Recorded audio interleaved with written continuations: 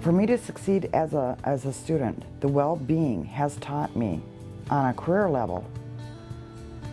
I've, I've defined my goals. I've narrowed down the path. Now I know which direction I'm going. After I learned about my overall well-being, which is that I'm struggling in all areas, I wasn't actually that surprised. It's part of the main reason that I chose to come to Anoka Tech, is because I want to further my well-being in my career and my financial stability.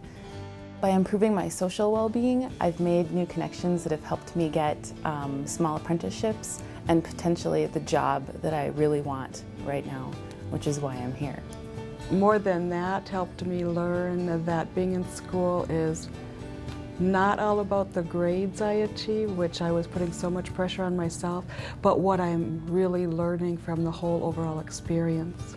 I can dwell on what I would like to change, but until I acknowledge it and acknowledge the tools that are available, I won't see change, I won't see progress. By improving one aspect of your well-being, uh, I believe it, it can definitely help other areas. I'm a full-time college student. I've been unemployed for almost two years. My financial situation is not good.